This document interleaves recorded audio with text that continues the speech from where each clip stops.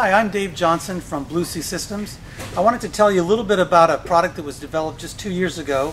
It's called a remote battery switch. All boats on the market today need a battery switch to protect them from uh, potential fires on a boat. It's a, both an ABYC requirement as well as a Coast Guard requirement. And for years, this, this product has been handled by a manual battery switch that everyone can identify.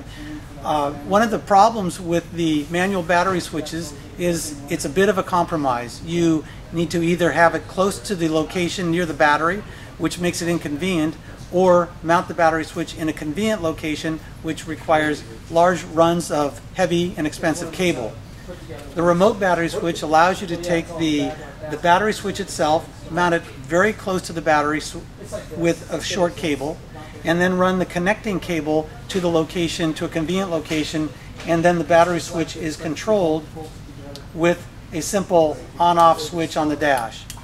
This switch also has a built-in lockout. So if this is turned on, someone can't inadvertently turn it off by pushing it again. You have to slide the slider up and then press the button at the bottom to turn it off.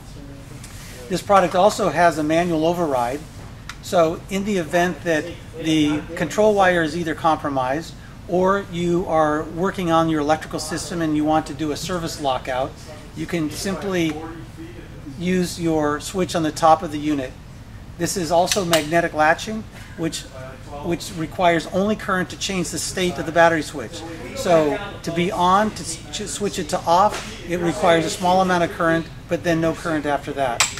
This product is called the ML7700. It's available at West Marine stores.